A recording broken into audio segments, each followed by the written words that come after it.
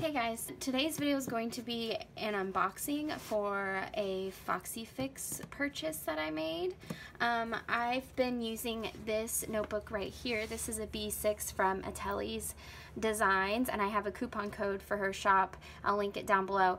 But um, I love this. It's absolutely like adorable and just stunning. I don't think she has this pink anymore, but she does have a fuchsia color that's very similar to this. It's just a little bit more of a purple.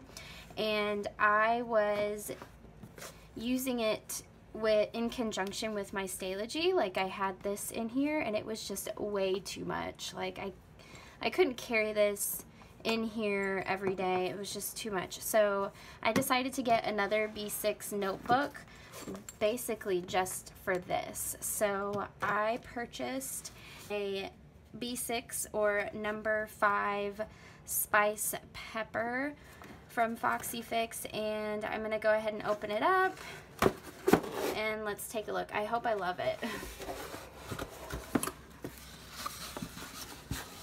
So I haven't ordered from Foxy in a while. Here is the sample. It's really pretty. I don't think I ordered anything else besides the notebook, but I'm going to double check. It looks like there's an invoice in here. Alright, so yeah, I, all I ordered was the notebook. So here goes. Oh my goodness. Okay. Wow.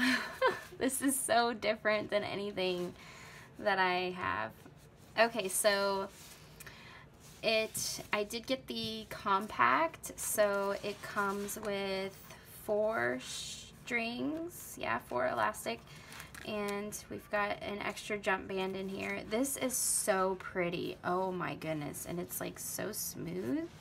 I wasn't sure how I would feel about the shininess, but I love how jet black it is. It's beautiful. So I got black stitching and light pink elastic and it seems like they've changed their light pink elastic because the one, like my moonlit that I had, the elastic was very loose and this seems nice and tight. So that's really cool. And I also got a pink embossed Fox and Pip bow. So cute. I love it. Okay, so I got the card pocket on the front and I didn't get one back here because I figured I wouldn't use it. And then with the spice leather, you have the big pocket in the back. I'm really excited to use this. This seems really nice. So overall first impressions, I like it. I really do.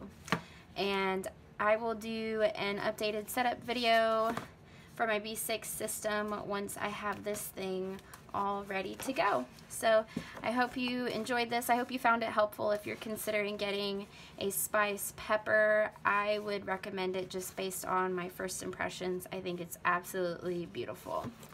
So thanks for watching guys and I will see you in my next video. Bye.